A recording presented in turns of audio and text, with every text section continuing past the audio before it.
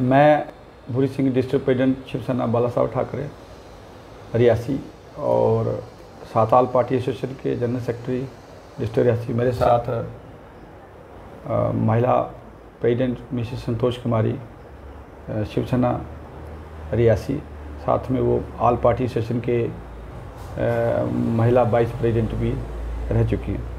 आज मैं जो ये मीडिया वार्ता है मीडिया जो वार्ता हम लोग जहाँ आज कर रहे हैं, ये मैं श्री मनीष सानी राज्य प्रमुख जो हमारे हैं, उनके आदेश के अनुसार यहाँ कर रहे हैं। मैं सबसे पहले स्टेट समाचार का दीपक और साथ में दीपक के जो कैमरामैन हैं और रियासी के जितने भी हमारे जो मीडिया बंधु भाई हैं, जैसे कि राहुल जी, अंचल जी और बलवीर जी, ये ये हमारा वाकई वाकई हम लोगों को ये लगा है कि हमारे हिंदुस्तान का जो फोर्थ पिलर फोर्थ पिलर जो है मीडिया, उनकी बदौलत हम ये माइनिंग का जो हमारा जो इशू था और रेट कम, रिवाइज रेट का था, ये उन्होंने बाकायदा आईटी सेल गवर्नर हाउस तक पहुँचाया। जिसके जिसके बाद जहाँ के एक सेंट्रली तरीके से हमारे माननीय श्री मनोज सिन्हा जी ने इसका फैसला लेते हुए और इसको एक सेंट्रलाइज सेंट्रलाइजेशन रेट को कर दिया गया है। अब रेट क्या किया है, कैसे किया है, वो तो नोटिफिकेशन हमने नहीं मिला है। लेकिन मीडिया के द्वारा ही हम लोगों को एक पता चला था वीडियो मीडिया के द्वारा, कि लेकिन रियासी के अंदर अभी तक हमारा जो डीसी सर हैं, हमारे चंदी सर और एसएसपी हैं, जो हमारे शैलेंद्र जी, वो उनको वहाँ पे नियुक्त किया गया है तो शायद वो भी जल्दी बहुत ही अच्छे अफसर हैं और बहुत ही बढ़िया अफसर हैं और बहुत होनेस्ट अफसर हैं और हमें उम्मीद है कि वो जल्दी वो भी नोटिफिकेशन जारी कर देंगे रियासी में भी। उधमपुर में सुना था कि कर दी गई हैं, पर चलो हमारे रियासी में भी हो जाएँगी हमें उम्मीद है।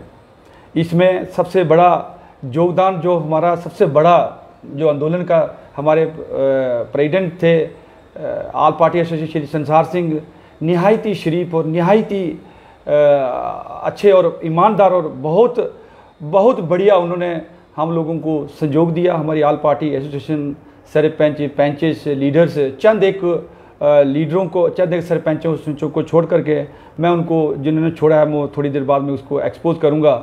पर उससे पहले मैं उससे पहले मैं जो हमारे आंदोलन, आंदोलनकारी सिपाही थे जिन्होंने आल पार्टी एसोसिएशन में रजिस्ट्रेशन ना अपना नाम करवाया था, उनका मैं एक एक करके पहले सबसे पहले तो उनके अपने दिल की गहराइयों से मैं उनका हार्दिक स्वागत करता हूँ और ये कहता हूँ कि ये बहुत ही हमारे डिस्ट्रिक्ट रियासी के अंदर एक सच्चे और ईमानदार सिपाही थे, जिस जिन्होंने इस आंदोलन को बहुत ही कटती हुई धूप में और रोड में बैठ करके और कई बार वहाँ आंदोलन किया गया। सबसे पहले हमारे श्री संसार सिंह जी थे, जो कि सरपंच कंथान के वो प्रेसिडेंट थे हमारे इस आल पार्टी एसोसिएशन के। और इसके बाद अश्विनी कुमार जी शर्मा थे एनसी के सीनियर लीडर जो वाइस प्रेसिडेंट थे हमारे इस आल पार्टी एसोसिएशन के मुंशी राम सलालिया, जो पीसीसी मेंबर जे के अप- इसके, कांग्रेस के जनरल सेक्रेटरी थे। मैं सेल्फ मैं भूरी सिंह डिस्ट्रिक्ट प्रेसिडेंट शिवसेना रियासी के, मैं जनरल सेक्रेटरी थे। अल्ताफ़ हुसैन सरपंच जी कैंठी के थे। एडिशनल जनरल सेक्रेटरी थे। बेहतरीन सरपंच, जिसमें कहता हूँ डिस्ट्रिक्ट के अंदर नंबर एक अल्ताफ़ जी हैं। मैं उनको भी दिल की गहराइयों से पुनः फिर से सलूट करता हूँ कि बहुत बढ़िया और सरपंच हैं। और बलवा इसमें थे मोहिंदर सिंह जी, जो पंचायत सरपंच सलाल के थे। ये वाइस चेयरमैन चेयरमैन थे। सुमित कुशल्या देवी जी, अपनी पार्टी की, जो कि आज कल कल मुझे बताया गया कि वो जम्मू डिवीज़न की जनरल सेक्रेटरी हैं अपनी पार्टी के उन्होंने भी कड़कती हुई धूप में बहुत ज़्यादा इसके अंदर लिया। साथ और साथ में संतोष कुमारी जो डिस्ट्रिक्ट महिला प्रेसिडेंट थी शिवसेना की उन्होंने भी बड़ा धूप में लिया। संज्ञान शम, शमीम अख्तर शमीम अख्तर महिला जनरल सेक्रेटरी थी सरपंच पी जुड्डा की। इन महिला दुर्गा इन्होंने बहुत ज़बरदस्त तरीके से हमारा सहयोग दिया आल पार्टी एसोसिएशन ने। और साजन बानो जो सरपंच थी धनसाल की, उन्होंने भी काफ़ी महिला एडिशनल जनरल सेक्रेटरी थी हमारी आल पार्टी एसोसिएशन की, इन्होंने भी काफ़ी सहयोग दिया। श्याम सिंह थे सरपंच दी भी, पंचायत भक्ता के, बंसी लाल थे सरपंच पंचायत शेरा कोटला के, जॉन मोहम्मद सरपंच थे, थुरू के, एजी के, मोहम्मद फारूक सरपंच थे, धनौर के बाल किशन सरपंच थे अंदर के, चलो चलो, इनकी थोड़ी सी कंप्लेंट भी आया, बाद में, बीच में शायद दूसरे तीसरे में नहीं आए ये पर चलो हम फिर भी उनका अलग से एक्सपोज करेंगे कि उन्होंने क्या गलती किया है।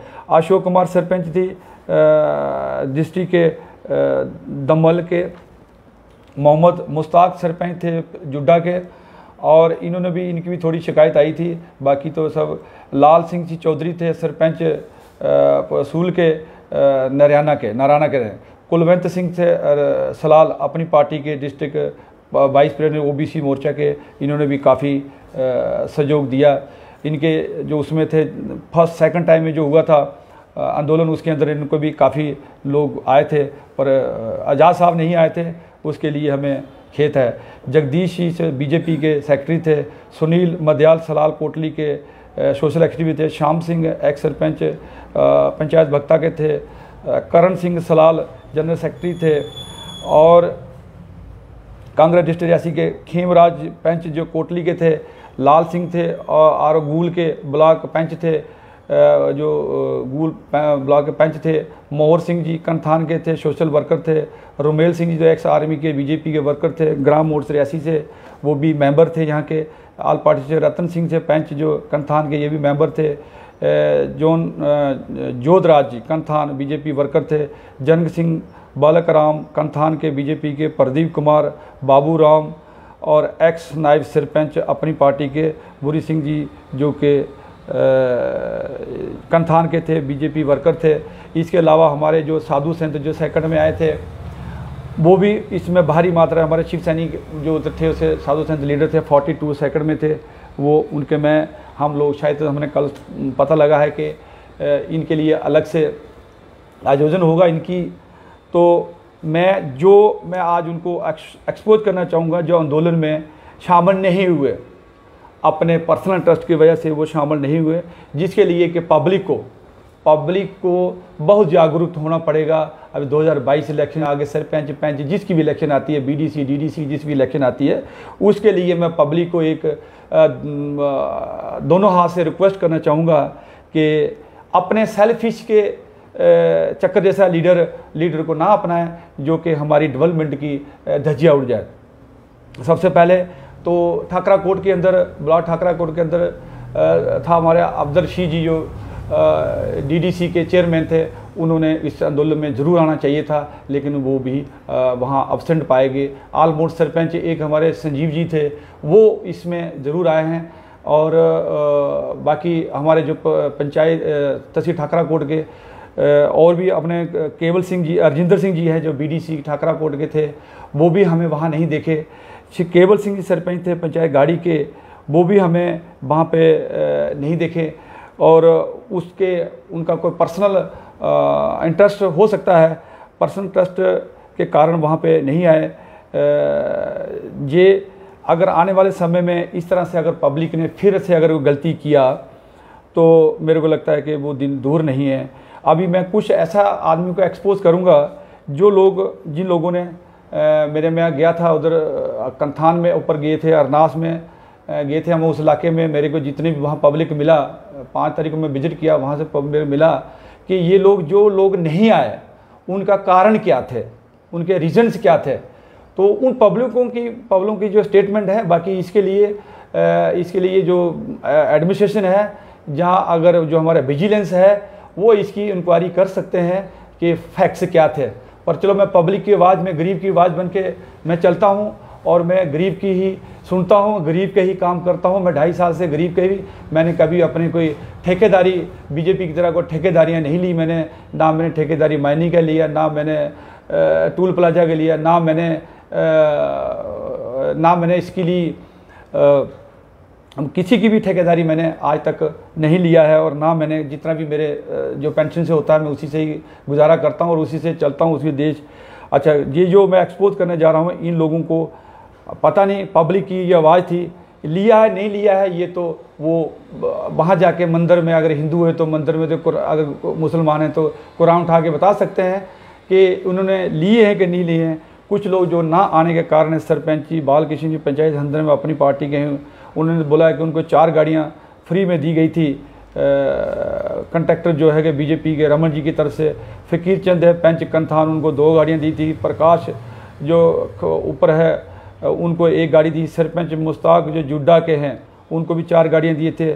सरपंच फारूक थनोल के बीजेपी के कंडक्टर जो रमन जी ने, उनको अपना काम जो कंथान से लेकर के कोड़िया तक है, उनको वो दिया गया है।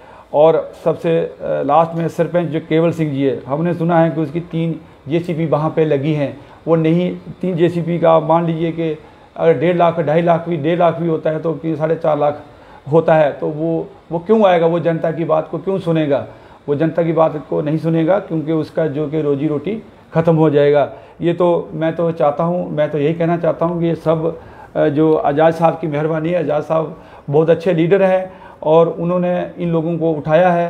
तो इन लोगों को उठाने के बाद आज ये गरीबों को ही गरीब को अनदेखी कर रहे हैं। गरीब की जो रेट जो रेट रिवाइज होने थे, उसके भी इन्होंने कोई संजोग नहीं किया।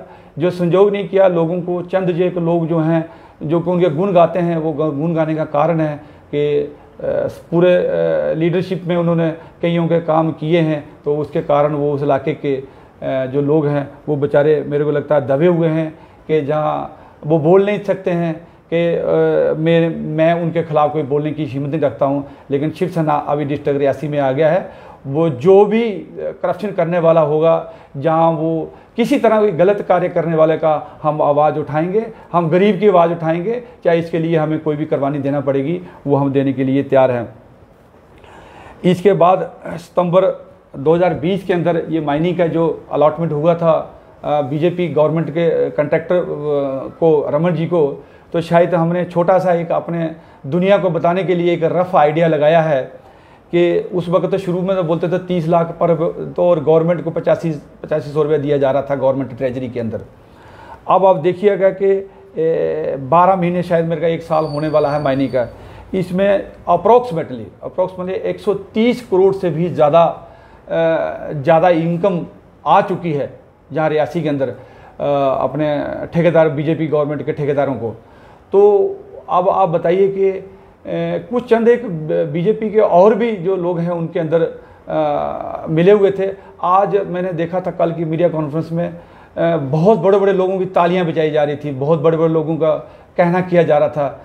मैं तो कहता हूँ ये लोगों को गुमराह नहीं करना चाहिए इसके लिए सिर्फ़ सिर्फ़ सिर्फ़ अगर संज्ञान लिया है तो मीडिया और जो हमारे आंदोलनकारी है, इनकी आवाज़ आईटी सेल गवर्नर तक पहुँची है और हो सकता है कि हमारे गवर्नर साहब ने इसको और जो होम सेक्ट्रीज हैं, जितने भी सेक्ट्री इसके माइनिंग के हैं, उन्होंने शायद इसके ऊपर बड़ा अच्छा फैसला लिया है। अभी जब से कोई रेट आएगा तो हम तभी अपने आंदोलनकारियों को मैं रिक्वेस्ट करूँगा, अपने आल पार्टी एसोसिएशन से, सरपंच जी से कि वहाँ एक आयोजन किया जाए और उनको सम्मानित किया जाए सभी आंदोलनकारियों को जो हमारे लिस्ट लिस्ट के अंदर रजिस्ट्रेशन नहीं करवा पाए और उनका नाम भी छूट गया है तो मैं उनको भी दिल की गहराइयों से बहुत बहुत बधाई देता हूँ कि भाई आ, ये चीज़ तो ये तो मायने का था लेकिन आने वाले समय में आगे भी इसी तरह के इसी तरह के अगर कोई डेवलपमेंट के आएँगे जहाँ को करप्शन के केसेस आएँगे, जो कि सरपंच लेवल पंच level BDC level DDC level अकेला उसका युद्ध नहीं कर पाया, उसको नहीं सुलझा पाया तो मेरे ख्याल के मेरी तो रिक्वेस्ट है कि आल पार्टी एसोसिएशन के अंदर रेफ़र कर देना चाहिए, क्योंकि ये केस क्योंकि हर अकेला आदमी कुछ नहीं कर सकता है। हर जब जनता जनता रोड में आएगी तो जनता का भी हक मिलेगा। अगर जनता रोड हमारे साथ आएगी तो मैं अकेला शिवसेना का एक प्रेसिडेंट मैं कहता हूँ, मैं कोई ऐसा ऐसा ऐसा डेवलपमेंट का जो काम हो जहाँ किसी का पर्सनल हो इंडिविजुअल हो, अगर जनता ने अगर हमारे पास अप्रोच किया तो हम हंड्रेड परसेंट दिन रात करके हम लोग ढाई साल से यही जनता का, आज मेरे पास अगर देखोगे रिकॉर्ड देखोगे जब मेरे पास फाइलें देखोगे तो करीब मैंने डीसी सर से रिक्वेस्ट भी लिया है कि हमारे आल हमारे जो आल स्टेट के जो लीडर, सीनियर लीडर हैं, वो रिसेंटली विज़िट करने वाले हैं रियासी। तो हमारे डीसी सर ने बोला है, कभी भी मोस्ट वेलकम वो डीसी सर हमारे बहुत अच्छे और जानकार ऑफिसर हैं।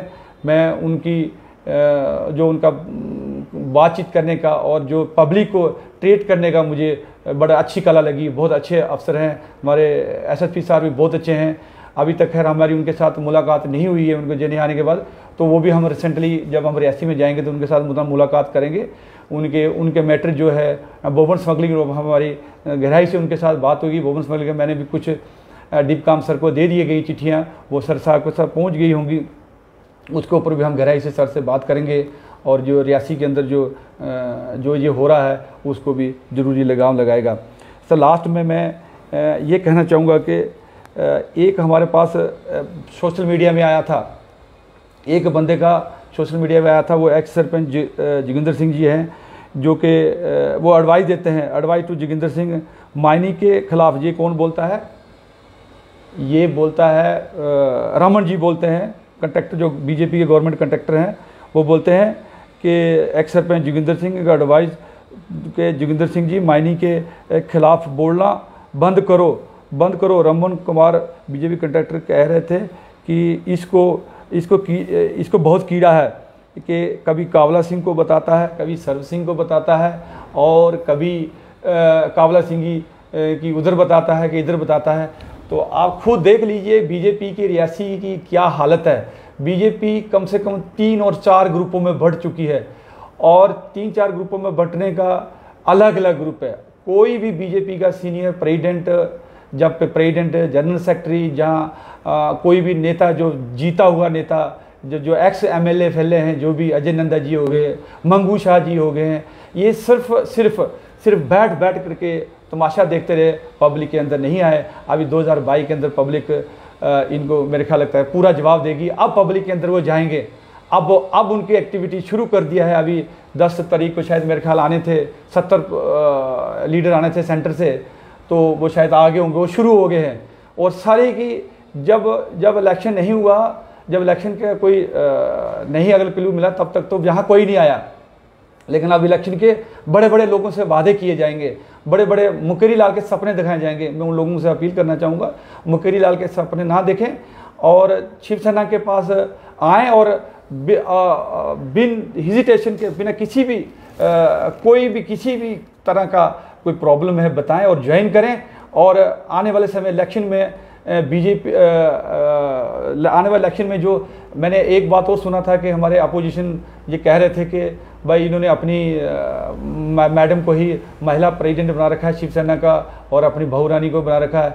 मैं कहता हूँ, ये बीजेपी की अगर एक एक के दस दस पोस्टें हो सकती है एक पोस्ट के लिए तो हम भी दस दस पोस्टें कर सकते हैं। रियासी के अंदर मेरी महिलाओं से निवेदन है और सभी महिलाओं से जितनी भी महिला हैं, वो आ सकती हैं। कोई भी पद के लिए मैं अपना उनकी रिकमेंडेशन अपने माननीय श्री मनीष सानी सर के पास भेज करके वहाँ पे से हम ऑर्डर की रिकमेंडेशन देंगे। और मुझे उम्मीद है कि हर हालत में उनकी जितनी भी अपॉइंटमेंट है, जिस ब्लॉक में जो भी महिला आना चाहती है आगे, वो आ सकती है। और हमें दिक्कत ये आती है कि महिला के ऊपर लोग बहुत ज़्यादा अलग नज़रिए से देखते हैं, जिसके कारण कि मुझे अपनी मजबूरी के कारण होते हुए कि मैं अपनी मैडम जी को ये अपॉइंटमेंट देना पड़ा और हमारी बहुरानी को अपॉइंटमेंट देना पड़ा, क्योंकि लोगों की जो नज़रिया, चंद एक लोगों का नज़रिया है, महिलाओं के प्रति वफादारी से नहीं देखते हैं। इसको देखते हुए मैं अगर कोई वॉल्टियर है, जहाँ कोई देशभगत है, जो महिला आना चाहती है मैं महिला के साथ साथ और भी कोई लीडर यूथ का है, किसी किस्म का लोग आने चाहते हैं, वो कभी भी आ सकते हैं हमारे रियासी डिस्ट्रिक्ट में। मुझे कभी भी कॉल कर सकते हैं, मैं वहाँ मीटिंग रख सकते हैं, उनका ज्वाइनिंग का अभियान हम चलाएँगे। पर अगर ये ये अगर नहीं हुआ और बीजेपी के झांसे में जो लोग आ गए किसी चंद एक चंद एक चंद एक बेनिफिट्स के लालच में अगर आ गए तो मुझे नहीं लगता है कि, रियासी का कोई सुधार होगा। फिर वही इस बार तो ठेके जितने थे बीजेपी के लीडरों ने लिए हैं तो अगले आने वाले के जो वर्कर होगा, अगर वर्कर भी उस चीज़ का अगर वफादार नहीं होगा तो फिर अगले हमारे आने वाले समय में वर्कर को भी मिलते शुरू कर देंगे। अगर भाई पैसा चाहिए तो किसी भी पार्टी में चले जाइए। अगर ईमानदारी, वफादारी से अगर कार्यक्रम करना है तो मैं हृदय से उनका स्वागत करता हूँ शिवसेना के अंदर। और अगर बाकी मैं इससे ज़्यादा ना कहते हुए जो परिवारी, परिवार की तरफ़ से हमारे पे इल्ज़ाम लगाया जाता है कि जो परिवार की तरफ़ से है, मैंने उनका भी सारा दे दिया है। आगे मैं महिला प्रेसिडेंट श्री संतोष कुमारी से बोलेंगे, कहेंगे कि वो अगर उनके पास कोई विचार हैं तो महिला के प्रति रखें। मैं महिला प्रेसिडेंट संतोष कुमारी शिवसेना बाला साहब ठाकरे रियासी से।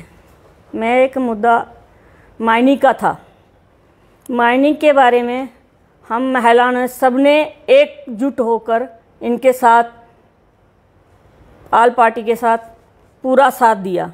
मगर बहुत दुख हुआ, कल जब इन्होंने प्रेस कॉन्फ्रेंस की, इन्होंने महिला का एक का भी नाम नहीं लिया। क्या कि इनके साथ कोई महिला नहीं बैठी थी, कोई महिला नहीं चली थी। कोई बीजेपी का ही नाम ले लेते, तभी भी हमें संतुष्टि हो जाती। बीजेपी महिला का ही नाम ले लेते, तभी भी हमें संतुष्टि हो जाती।